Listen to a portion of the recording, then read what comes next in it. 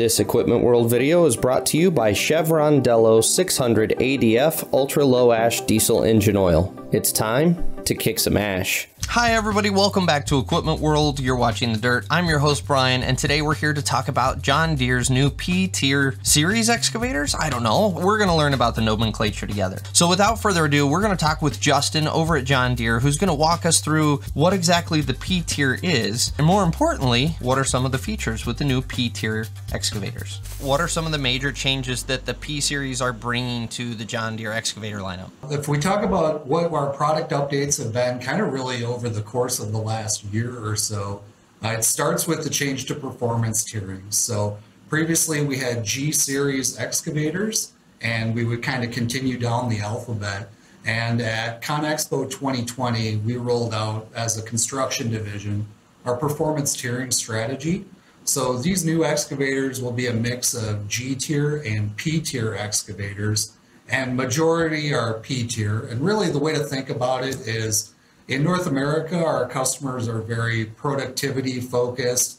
They're very features and option focused. The P tier is really designed around bringing productivity, features, technology, all of those things all together in one package with the machines. And then as we think of different tiers, just think of different levels of technology or different powertrains and things like that. But majority of our excavators right now are P tier excavators. So going forward, will the nomenclature no longer be a Deere 330G? It will be a 330G tier or a P tier, depending on kind of which uh, well, trim package, I guess you could almost call it. Yeah, that's that's one way to think about it. If you take our okay. 350, for example, we had a 350 GLC. Now, as we bring our new model of excavator out, um, it's going to be a 350 P tier generation A. So it will always live as a 350 P tier. And then as we make updates, it'll be generation A, generation B, generation C. Okay, perfect. Thank you for clarifying that. This is yeah. it's kind of been interesting. I've noticed a lot of the manufacturers over the last year or so have started to do a little bit of a nomenclature shuffle and they've started to kind of re-strategize how how they're thinking about their equipment lineup. So this is super helpful. As an operator, I can tell you this is super helpful to know this information. Yeah, it's definitely got kind of an automotive feel from like trim level packaging, but then it also just gives an opportunity to kind of bundle things, the way we manufacture machines, around what the customers want. If you want something that's rugged and reliable, a G tier uh, would also work really good for a rental customer doesn't have all the options, the bells, the whistles, and all the costs associated with that, great, we've got an option for you. If you want that exceptional performance, uh, some technology, um, some of the features, the P tier is really where you want to be. And then as we think of developing into the future, things like electrification on other machine forms, um, other advanced features, that's really where we get into the X tier, that top tier uh, performance tier that we offer. So it does occur to me one of the reasons manufacturers, including Deere, are starting to think about these things differently is because of the technology packages that are included that, that didn't used to be there. So on that note, can you talk about some of the features that your smart grade grade control system is going to offer customers? Yeah, so first of all, um, we're really, really excited with our P-tier excavators to add an additional model of excavator that offers the smart grade grade control technology. So we currently offer it on our 210, our 350. We're adding the 380, and then we've got it on the 470 as well. So four models now with P tier that will offer the smart grade technology. And the best part is, is it's extremely flexible. We can get 2D guidance that's got a lower cost, uh, more of an indicate system. We can get 2D control, or what we call smart grade ready. And then we can go all the way to 3D control, which is our smart grade nomenclature or name for that feature. When you get into that too, is as long as you've got some level of grade control technology installed from the factory, you can upgrade that at any time. So as customers' businesses grow, maybe you uh, started out with a lower cost solution, that 2D guidance, and you see the value, or you've got a job coming up where you're going to move to 3D job site models and you see the value or you're running it on other pieces of machinery in your fleet, you can upgrade that anytime without having to upgrade the machines. So fantastic. Regardless of what we offer from the factory versus what we can upgrade to when the machine's in the customer's hands, really, really flexible solutions here. The other thing that's nice about grade control is very mature on machines such as crawlers, dozers, graders. Excavators aren't quite as mature in this arena. So, sure. one of the things we hear from excavator operators is, oh, I, I don't need that. I can get within a tenth of a foot, you know, great accuracy just on my own. But the reality is the availability of labor and the availability of skilled labor is becoming a huge industry challenge and that's no surprise to anyone. That's really where this grade control technology shines.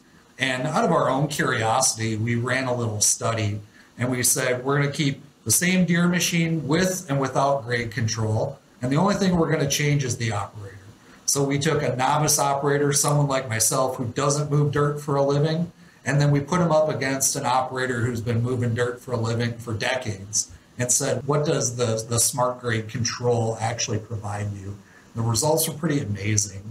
But before we get into that, I want to take a second to tell you about the sponsor of this video, Chevron Lubricants. Protecting your diesel engine and its exhaust after treatment system has traditionally been seen as an either or proposition when it comes to choosing the engine oil that's going to protect your system. And that's exactly why Chevron spent more than a decade of R&D work developing a no compromise formulation. Now, I don't have to tell you why a clogged DPF is bad news, but here's the real kick in the pants. 90% of that ash clogging up your DPF and then upping your fuel and maintenance costs, it comes from your engine oil. You might be thinking, why don't they make an engine oil with less ash in it then? You'll be happy to learn that Chevron agrees with you. They've developed a new ultra low ash diesel engine oil that is specifically designed to combat DPF ash clogging. Delo 600 ADF with OmniMax technology cuts sulfate ash by 60%, radically reducing the rate of DPF clogging and extending the DPF service life by two and a half times. Before you had to choose between protecting your engine or your after treatment system. Now you don't. Delo 600 ADF with OmniMax technology. It's time to kick some ash. What does the, the smart grade control actually provide you? The results were pretty amazing. Our novice operator was actually 90% more accurate, so 90% more points on grade within a tenth of a foot compared to without smart grade. They also were able to get the job done for our study 30% faster, so you're much more accurate. You're a third faster. That all equates to more jobs per year or more productivity on that job. So we can take a novice operator and make them good but even better, we can take an experienced operator and make them great. So when we run that same study with an experienced operator, that person who's been doing it for decades, they were actually 50% more accurate and 10% quicker. So they've got the experience to be fast, but those points that were within a tenth of a foot as we scanned that entire job or test area, they were significantly more accurate. So a lot, a lot of positives for grade control technology regardless of operator skill level. That's where I, you know people who have watched this show for a while and and and watched what the Diesel and Iron channel have come to kind of learn that I'm a big proponent of technology on machines. And that's coming from I'm an experienced operator in the industry and it has continued the, the more machines I run with machine control, especially excavators, the more I realize, even as an experienced operator, it lightens my workload, so mentally I am not as taxed at the end of the day from a safety standpoint because I'm not having to focus so hard on keeping perfect grade every single time. It frees up more of my mental capacity to be aware of where my laborers are, where trucks are on the job, overhead obstructions. It frees up that extra brain power for me. And then at the end of the day, it makes you faster. It does. When you're not having to hold grade 100% on your own you can absolutely do faster passes. So I, I 100% will back you up on that. Now, that being said, you know, kind of having this labor force issue that we are, where you have a lot of not extremely experienced labor on the job. Does your machine offer an active overdig protection or is it indicate only? Yeah, so uh, if it, if you have say 2D in or 2D guidance, that would be an indicate grade control system. None of the things I'm about to talk about would actually fall under that category. But when you go Sure. to 2D smart grade ready control or 3D control, which is smart grade, um, there's two things that the machine will hydraulically limit or prevent you from doing. One we call overdig protection. So when you set your offsets, whether you're benchmarking or going to a job site model, whatever that elevation is for the lowest point, the machine will not physically dig beyond that unless you override it manually. So exactly what you said, Brian. You don't have to concentrate on am I at grade? Am I holding grade? Is grade changing along my, you know, as as you're digging or trenching? It takes that off the plate of the operator and lets the machine do that for you. The other thing is what we call virtual front.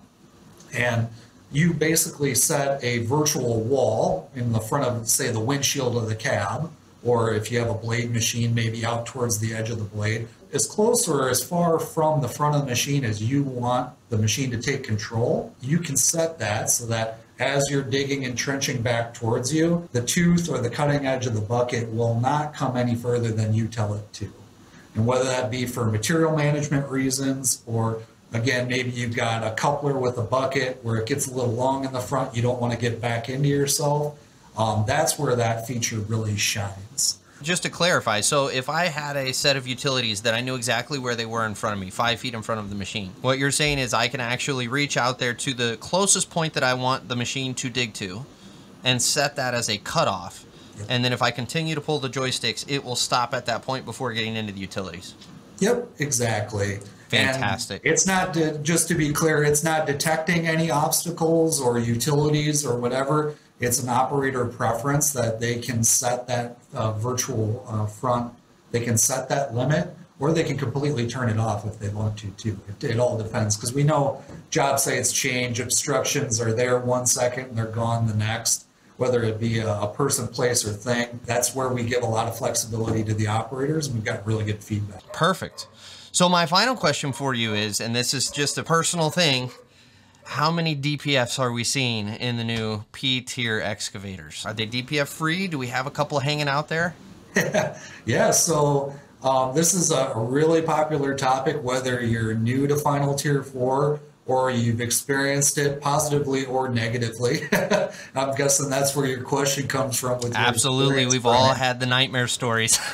yep. So um, for our excavators, basically uh, concentrating on our P tier excavators, our 130 through our 470 are going to be final. They're all final tier four, uh, but they are going to use DOC DPF to meet the after treatment requirements for final tier four emissions. So Okay. they do have DPFs. Where Deere is different is we have what we call our DPF assurance policy. So Deere is going to stand behind that DPF for five years or 10,000 hours, whichever comes first. And this really started as we went from interim tier four to final tier four. It's not excavator specific. For all of our final tier four machines, we've got this DPF assurance. And really, we're saying that for five years and or 10,000 hours, Deere's got your back. If you have any problems, we're going to replace it. Even better news is we've got some models that have uh, Isuzu engines and a little bit different after treatment technology. So our reduced tail swing models are 135, our 245, our 345, and then our largest excavators, the 670 and 870, they are going to use SCR, selective catalyst reduction systems, as part of the after treatment, and no DPFs. So basically, the way I think about it is you either dose DEF into the system and burn that particulate off on the front side before it goes through, or you don't do that and you catch it with a DPF on the back side. Either way, Deere's got a system for some models where we burn it off on the front end, no DPF on the back. For the ones where we do catch it on the back end, we've got you five years, 10,000 hours, um, you're covered. So Perfect. really, really solid final tier four strategy. And again, the customer feedback on that has been essentially a non-issue. Um, it's been really positive. So other than Do I have to use DEF? Yes, you still have to use DEF. DEF is here to stay. I, I don't know why the industry doesn't realize that. DEF is not going anywhere, neither are DPFs. It, it's really how do you guys as manufacturers get those emissions down? You've only got a handful of options. None of these options are going to go away. So That's exactly right. Well, Justin, any final thoughts that you'd like to share on the on the P tier and kind of what differentiates them from the predecessors? Yeah, Brian, and this is where I'm really, really excited you're having me on here today. So we're doing things like we're adding grease lubricators to the arm tips. We've improved the arm tip bushing as well as the pin hardness for that arm to bucket joint on our 350, 380, and 470. As you may know, sand conditions are probably the worst nightmare for an excavator. And with these pin and bushing improvements on these models, we're actually seeing like 200% joint life improvements. So that's Wow. really, really positive. Yeah, that's substantial. and making improvements to even just like the boom foot bushings, kind of all the joints in that front end of the machine, we've improved them with the P tier. We've made additional undercarriage improvements, things that affect customers' owning and operating costs for all the, the moving components in an undercarriage that can get pretty expensive. We've made improvements there.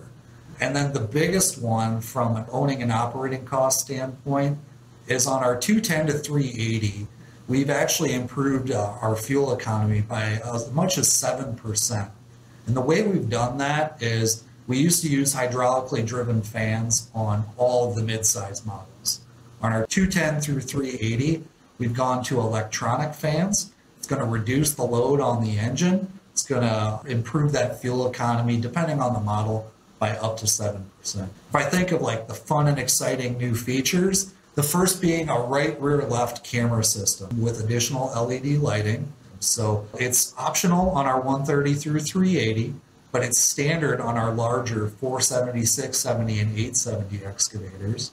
It's all integrated into the main monitor, so that operator, they can choose their camera view however they prefer. But at a glance, you've got great 270 degree visibility. We know excavators, especially in like underground segments, uh, there's a lot of attachments, so there's a lot of coupler use. We've got optional hydraulic coupler ready now, where we're going to put the plumbing uh, to a valve on the end of the stick. Makes it easier to put a coupler on the end of the arm, put your bucket on, your attachments on, and go from there. That's great, but where the real value is having the factory integration um, and also for the controls in the cab.